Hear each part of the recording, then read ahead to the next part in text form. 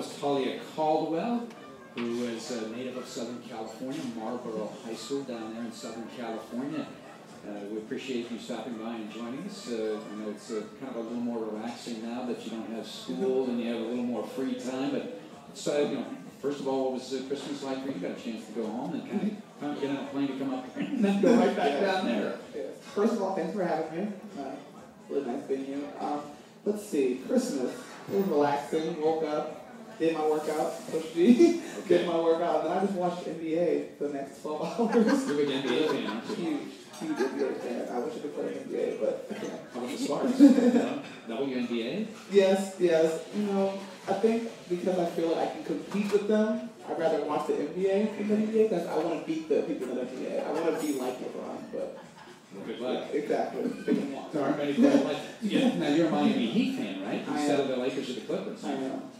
Why is the Why is it the Heat? Just like the players, LeBron. LeBron is my favorite player since he came to the league, so I follow him, of course. And uh, Lakers a little too finesse for me. A little too finesse. Too Andrew finesse. Bynum, Pau Gasol don't bang enough for you. Not enough. Oh, that's great because you do like to bang. We're looking at the stats, updated stats for the Pac-12 conference. The Bears are actually number two in the country rebounding margin, Oh, like cool. plus 18, and then you're one of the top offensive rebounders in the Pac-12 conference, averaging about three and a half a game. Well, what's it take to be a good offensive rebounder? Ah, timing. Just, you know, seeing your player, as they release it, start maneuvering your body, cutting uh, that first step so you can just get position. Because once you have a quick first step, they can't box you out. And so you just have to jump and get it at that point. Are, are you a rebounder that goes to a spot, or are you one of those people that uh, knows kind of where the ball is going to be from a, from a shooter, maybe from the perimeter or the, or the other side? Do you have a, a feel for maybe where the ball is going to go, or do you, you try to go to a yeah, spot? sometimes the, the baseline shots usually know can come off the other side, but usually I just try to get that first step and just get around that paint area, and I can just reach and grab it depending on where it goes. You got the long arms, that's for sure. Who's, uh, you know, as you've been here at Cal, who's been the, the toughest players to either defend or score against in the paint? That's in the in the Pac-12. In the Pac-12 conference, yeah. Wow, that's that's difficult. I haven't I haven't thought about that. Uh, I don't Stanford, know. UCLA has had, had some bigs as well, but the I think it was UCLA more than Stanford, just because UCLA they're small traditional post, so they usually go for the ball. They don't like they go for the ball once in your hand. They don't go for the shot block because they're, they're not that tall. They're more like six feet post. So for them, it was more they want to get steal. So it's like posting up a guard. Is it tougher than to defend a smaller post that has quickness, that's trying to use the quickness against you, or somebody that uh, is taller than you? Uh, hmm, let's see. It depends on who the player is, how physical they are. If they're, if they're tall, they're not really physical, then you can push them out and make them take contested jump shot, you know, so it depends.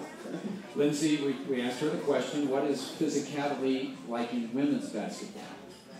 She said to ask you, so we're going to ask you. I mean, it's a, it's a battle. like like our, our coach, uh, Darren Park, he always says you gotta get your work done before, you know, before you get the catch, before you're playing defense. So usually people don't see the battle that goes on before that post got the catch or before you got a rebound. It's a lot of hips, elbows, being bumped against each other. So And they always talk about post players that if you're using the elbows, the officials tend to see that, but if you're using the legs, the lower body, they tend to let you play more. Do you find that to be true? Oh, definitely, because you know, for good reason, they want to clean up people, you know, doing this dirty plays with elbows and noses. That's never a good idea. So, yeah, you definitely want to use more of your lower body. Now, I understand that you're the first women's basketball player to be admitted to the uh, Haas School of Business. That, that is a tremendous accomplishment. Congratulations on that. And what is it about business that excites you? I think it's just awesome that you can just be passionate about something or product and then just use your creativity to just, you know, sell it and offer to people and just, you know, really just uh, find a need and I guess just help fill it. So that's just cool for.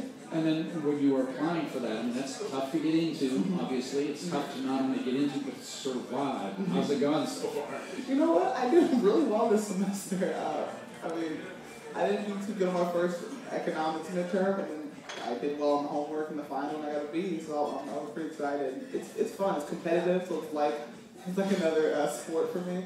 So that helps. So competition's fun, and I'm enjoying everything I'm learning. There's awesome professors and just other just really awesome it feels great. Here with Talia Caldwell, outstanding forward for the Cal Bears, as uh, they're off to a 9 and 5 start, looking for their first Pac-12 victories of the season this week against the Oregon schools. Uh, do you have anything in mind after college as far as business is concerned that, that uh, you?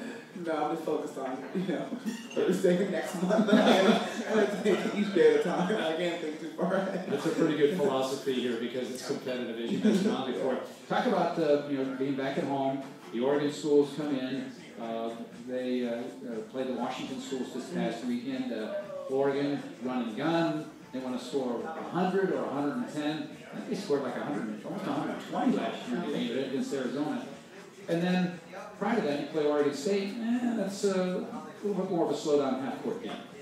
Yeah, um, I think it's a good challenge to show the versatility and maturity of our teams. That you just gotta see a task and just know, you know, adjust and just play it the best you can that game. So I think I'm ready for both games to come equally, equally well. So I'm excited. What do you take out of this last weekend down in the Southland that uh, you can turn into a positive as you move forward?